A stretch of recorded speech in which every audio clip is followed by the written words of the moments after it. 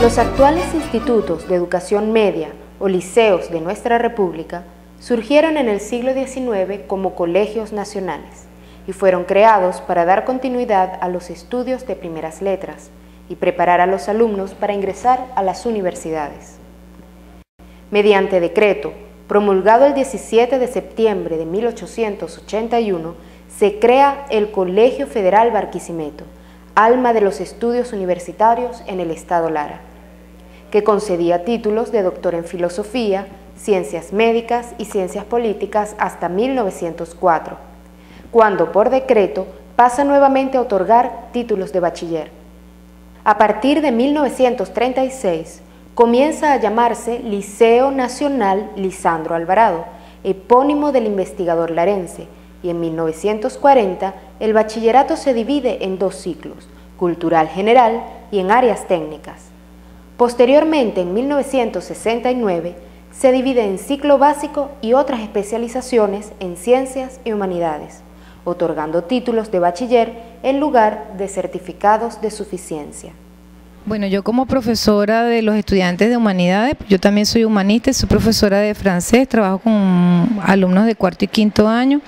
Sí sé que hay una gran diferencia porque los estudiantes de humanidades tienen muy desarrollado su hemisferio cerebral derecho. Ellos son mucho más sensibles a la parte artística, a la parte musical. Tienen otro tipo de sensibilidad. Los estudiantes de ciencia tienen mucho más desarrollado su hemisferio cerebral izquierdo.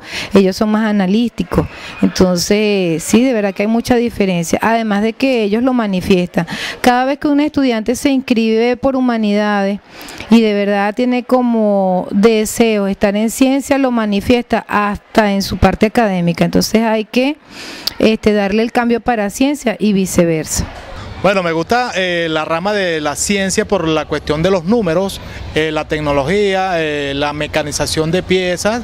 Yo soy profesor egresado del pedagógico en el área de educación industrial, mención mecánica de mantenimiento.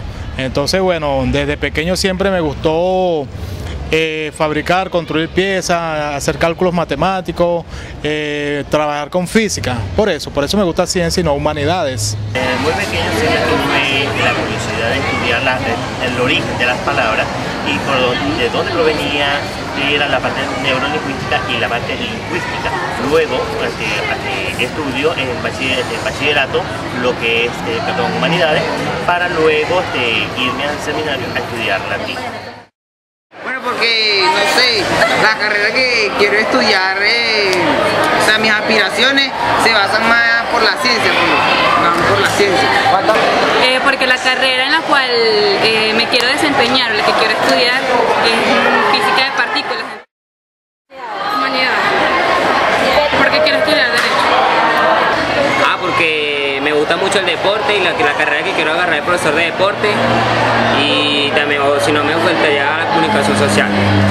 Te veo latín, francés, veo arte escénica, música, producción artística, son materias humanísticas.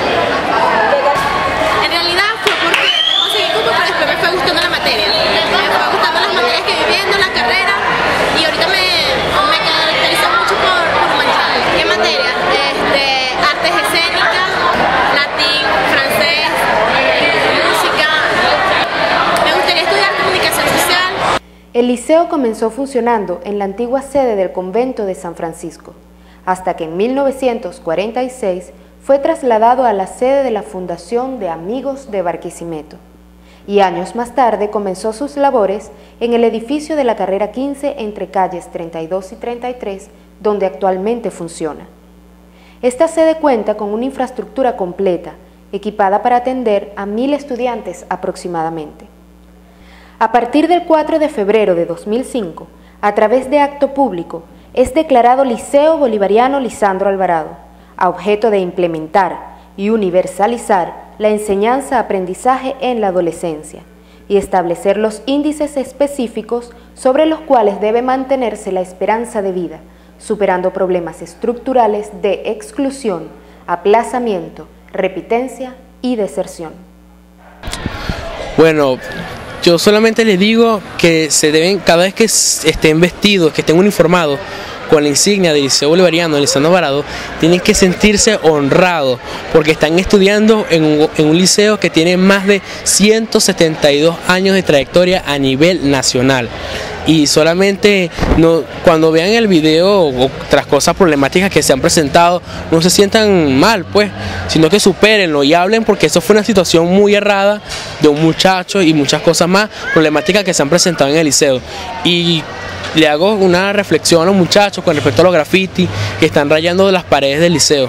Mi primera recomendación es que piensen siempre a futuro que nunca piensen que van a ser jóvenes toda la vida, que tienen que forjarse una vida y construirla desde este momento, que lo más importante es prepararse académicamente, cultivar bien sus sentimientos, que cualquier cuestión que los haga mm, distraerse de su actividad académica, este, deben manejarla con mucho cuidado, que se dediquen al deporte, a la parte artística, que llenen su tiempo con actividades productivas que sigamos destacados en todas estas actividades que se están realizando en pro y en mejora de la representación de la institución y en mejora de ellos mismos porque de aquí podemos sacar atletas que se destaquen y que no representen nada más la institución, sino que mañana o pasado puedan representar a nuestro estado, así como también eh, hacer deporte, una juventud que hace deporte una juventud sana, alejándola de tantos vicios que hoy nos consumen